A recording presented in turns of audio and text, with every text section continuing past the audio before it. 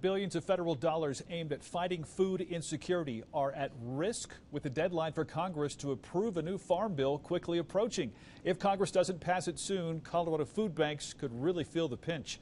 KRDO News Channel 13's Emily Coffey is live in our newsroom tonight to explain how the farm bill impacts their funding. Emily. Care and Share Food Bank relies on money from the Farm Bill to operate at the capacity that they do right now. That's because 20% of the food bank's overall funding comes from programs in the bill, and that money could run out in a few weeks if Congress doesn't act. It is the single most important legislation uh, for food security in the United States. The Farm Bill comes up before Congress every five years. It incorporates food assistance programs with things like crop insurance for farmers. This year, representatives in Congress are debating how to fund each program that benefits from the Farm Bill.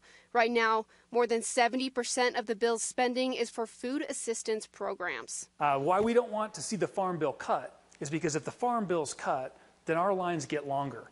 Care and Share has seen a bigger need for food resources recently. The CEO says the need became greater when emergency pandemic food assistance benefits expired at the federal level. He also says rising food prices don't help the situation.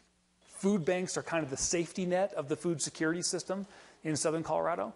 And then the Commodities Supplemental Food Program, CSFP, gets commodities to food banks like Care and Share.